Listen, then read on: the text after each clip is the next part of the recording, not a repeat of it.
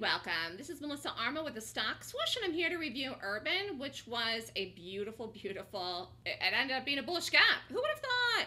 And honestly, this is doing it today and did it without the market. It's not that you need the market for the gap, but I'll tell you the fact that it's held so strong today and gapped up and the market gap down was a good sign for this to follow through, which really began yesterday, which was the original gap. So today was a continuation gap. The original gap of the day of the earnings was on March 8th, which is the day I liked it here.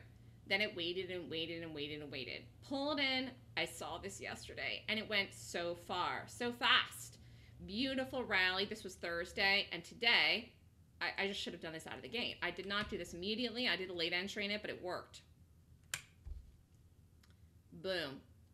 If I had done this, I probably would have just gotten out of the whole thing up into here in five minutes. But I, I didn't. I didn't do this for a century. I mean, actually, I, I, I had it on the watch list this morning. And then look at what it did and then I saw it. Then it pulled back. Then it came up. Then it set up here. Then it set up again. Then it rallied. So dream target on this today is 34. I do think it gets there. It's 20 cents away from that now. 82 was a number. Look, it hit 81. Look at that. Anyways, I got out of this in the push-up.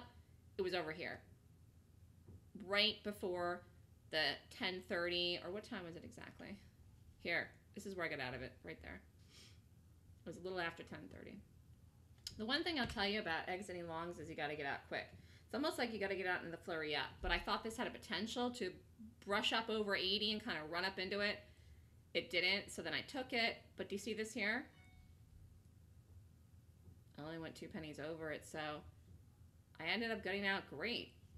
I'm not saying this doesn't go now today to 34, but now it's going to pull back, probably set up in the afternoon. Then you have to wait. Then you have to take it again. So you could have played this a couple of times today, but it was a beautiful bullish gap.